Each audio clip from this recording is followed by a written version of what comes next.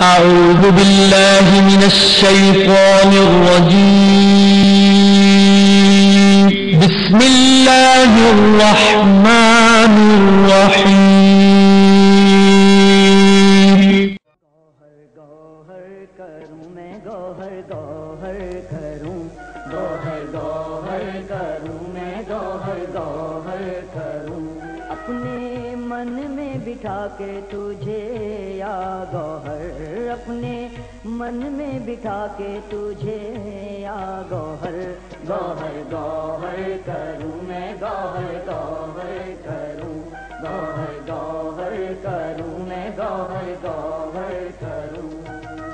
यार यादे गौहर शाही, यार यादे गौहर शाही, यार यादे गौहर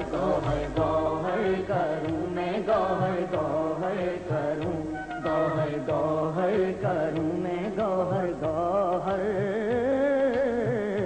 गौहर गौहर करूँ मैं गौहर गौहर करूँ।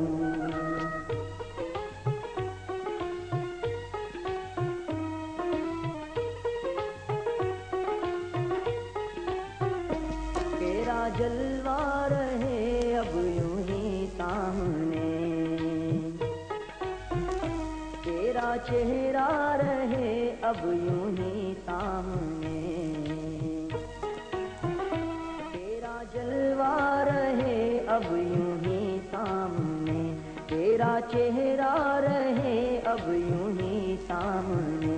ऐसे दर्शन करूँ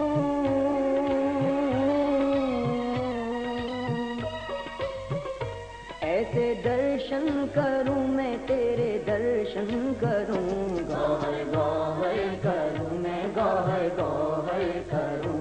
गौहर गौहर करूँ मैं, गौहर गौहर करूँ।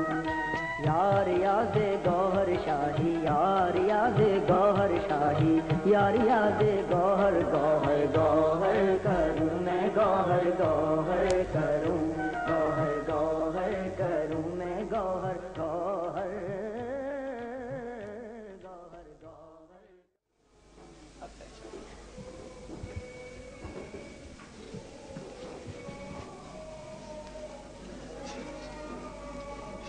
ये तो बात कर ही दिया है कि जो कलब जारी हो जाता है, वो गौस पाक के मरीज़ हो जाते हैं।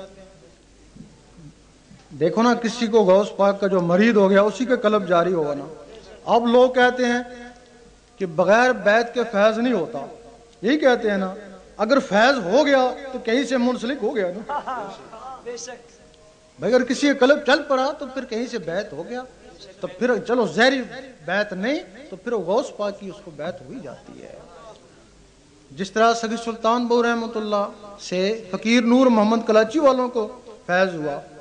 बैत भी हुई उन्हीं से।